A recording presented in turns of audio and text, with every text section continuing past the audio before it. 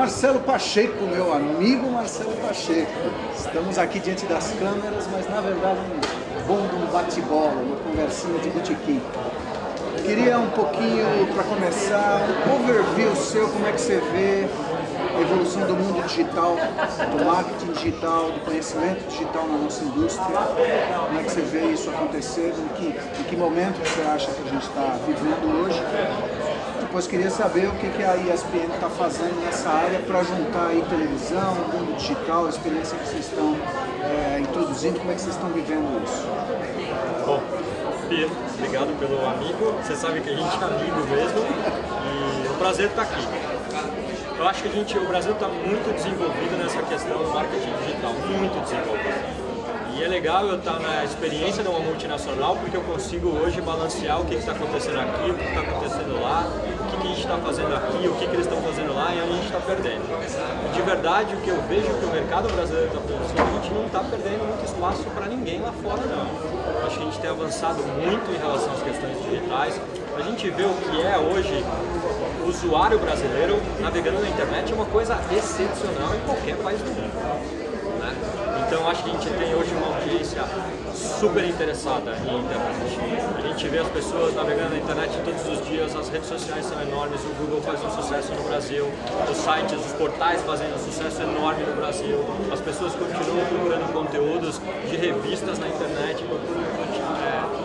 procuram conteúdo de vídeo na internet, ou seja, acho que a gente não perde nada para o mercado hoje, americano, ou europeu, ou qualquer outro país do mundo. Acho que a gente está super bem representado, inclusive pelas marcas que estão aqui estabelecidas.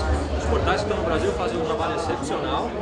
Eu acho que as, as empresas de mídia impressa têm feito um trabalho fenomenal com relação à internet também, e os novos aplicativos, aí estou dizendo é, o que a gente tem de iPad, de tablets, dessas coisas, o que a gente tem visto, hoje eu vejo muitas revistas no iPad, e aí o que eu vejo assim, a qualidade das nossas revistas no Brasil não perdem para ninguém, né? Quando a gente olha para a ESPN, o que a gente tem feito é assim, evento ao vivo tem uma importância enorme para o esporte, né? Então eu tenho que disponibilizar evento ao vivo na tela que estiver disponível para a pessoa que a gente chama na ESPN de fã do esporte. Então o que a gente tem feito lá fora principalmente se chama Watch ESPN. Então eu tenho hoje um tablet, eu tenho hoje uma operadora, a gente é uma empresa de TV por assinatura, eu tenho uma operadora, eu vou, eu me cadastro e eu faço um login pelo meu usuário e senha que eu tenho naquela operadora. E a partir daí em qualquer device que eu vou estar, eu posso assistir o conteúdo da ESPN. E o canal linear, isso é muito legal. Isso é o que a gente está vendo lá fora, isso é o que a gente está trazendo para cá, para o Brasil.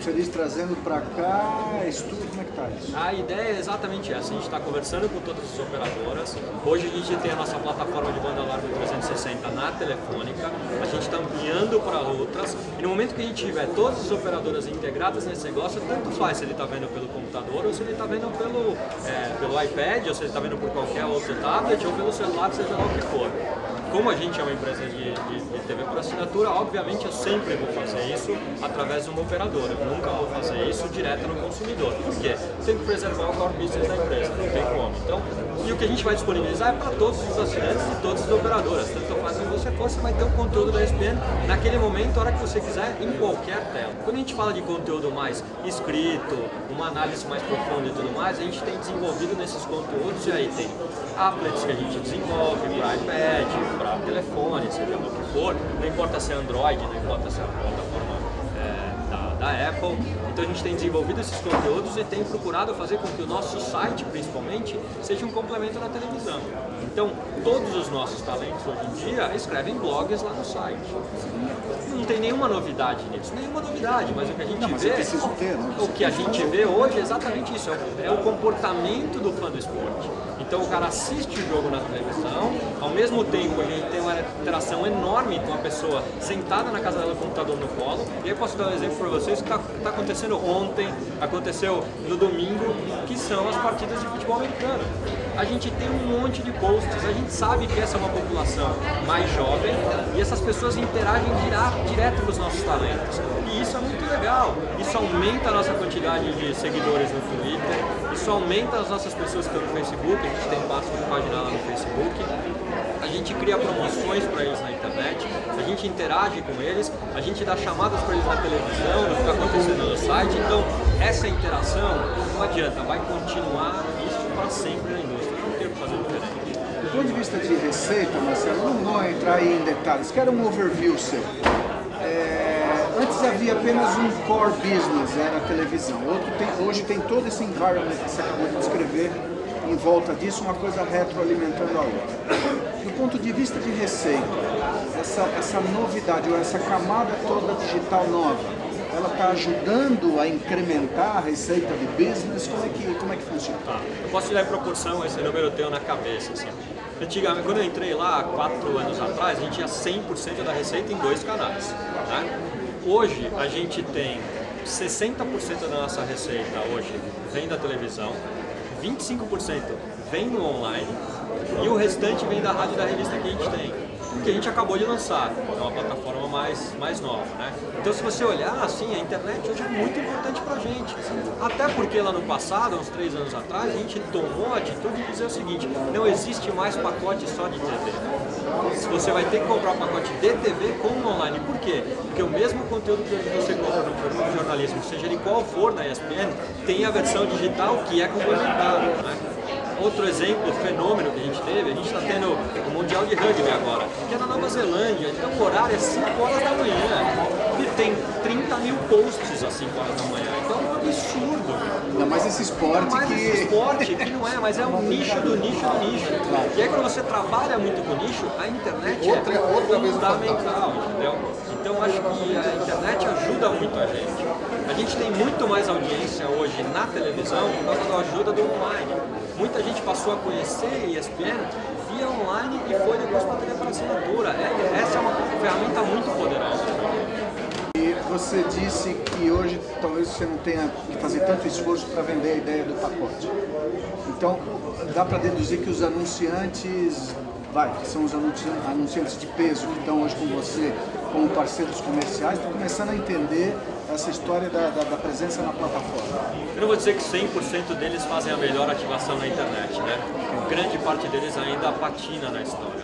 Mas o que a gente tem hoje é eu não tenho mais nenhuma rejeição à internet. Ninguém chega pra mim e diz assim, ah, eu quero que você tire a internet do plano. Não, ao contrário. O que a gente vê assim, as grandes empresas, todas elas têm uma presença online. Melhor ou pior. E o que a gente vê, empresas médias e pequenas, hoje em dia, pedem muitas vezes ajuda pra gente, dizendo assim, olha, eu até gostaria que você me auxiliasse como é que eu utilizo melhor os canais de comunicação que vocês têm. E isso tem sido legal, né? A gente senta em conjunto com ele e diz, olha, vamos sentar nós, você sua agência, a gente diz mais ou menos o que a gente está fazendo aqui, qual é a nossa ideia, se é um projeto especial, se é alguma coisa só para você, e a gente trabalha em conjunto para você ter um retorno maior. E muitas vezes não é uma coisa só do cara ter um bonezinho ali, não. Muitas vezes é o cara participar, inclusive, da criação do que a gente está fazendo, e a gente criar em conjunto. Tem a ver com o conteúdo que eu estou produzindo, eu quero produzir esse conteúdo, independente de ter um patrocinador. Ele tem atributos que ele quer ver na minha marca e no meu conteúdo, que são aderentes à marca dele. Aí a gente une esforços, traz a agência para fazer a coisa criativa. Então acho que isso é muito legal.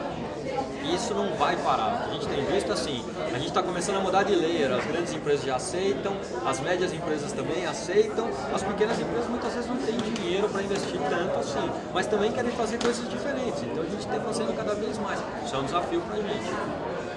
Muito bem, mestre Marcelo Pacheco. Como vocês viram, uma aula de como é que funciona essa história de plataforma, que a gente aqui na plataforma próxima fala bastante, porque acredita bastante, tanto que a gente está levando essa história adiante na prática para o mercado. A gente não fala só a respeito, a gente pratica. Muito obrigado, Marcelo Pacheco, Obrigado por você, essa Pedro. entrevista e vamos em frente. Vamos em frente.